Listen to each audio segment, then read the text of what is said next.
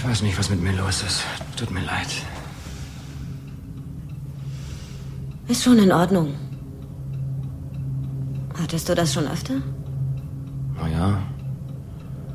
Ich hab's noch nicht so besonders oft gemacht, nur mit dir und mit meiner Mama. Ich dachte, das ist verboten.